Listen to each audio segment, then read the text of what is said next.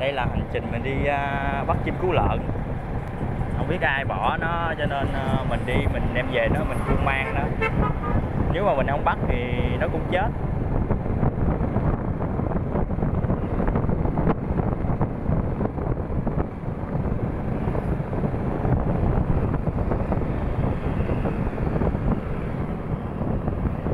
Ta nói nuôi nó rất là xui nhưng mà mình uh, mình không à, không nuôi nó, mình à, bỏ nó thì nó chết à, cũng tội nghiệp nó.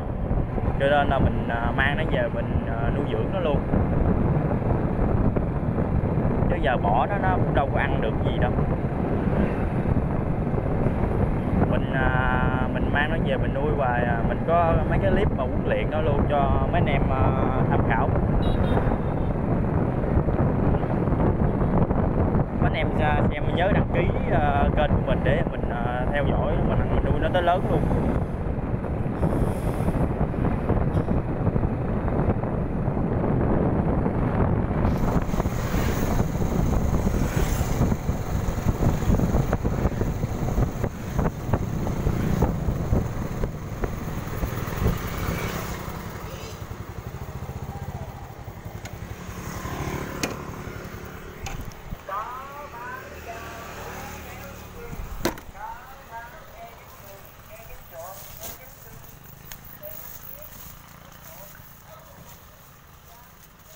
đây hai con đây.